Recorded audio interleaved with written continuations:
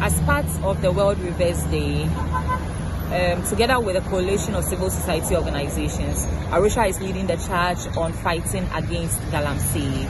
We are we are creating awareness today by standing at four vantage points in Accra, um, Ridge Runabout, Sky Towers, Fiesta Royale, and in Circle. We are calling on all authorities to one, repel LI 2462 that allows mining to go on or occur in forest reserves and to declare Galamsey as a national emergency.